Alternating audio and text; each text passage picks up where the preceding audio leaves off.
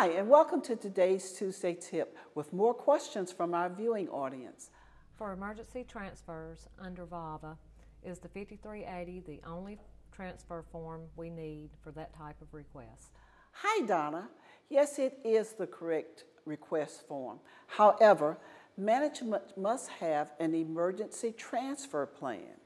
The file should also show that the person has declared that they are a victim of domestic violence, dating violence, sexual assault, or stalking, with whatever documentation is required by your VAWA plan.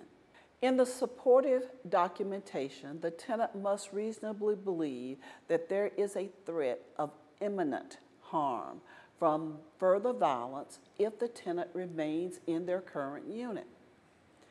In the case of sexual assault, the same applies as it relates to the belief of the threat of imminent harm if the tenant remains in their current unit, but also the assault occurred on the premises during the 90 calendar day period preceding the request date or the time that the resident asked for the request.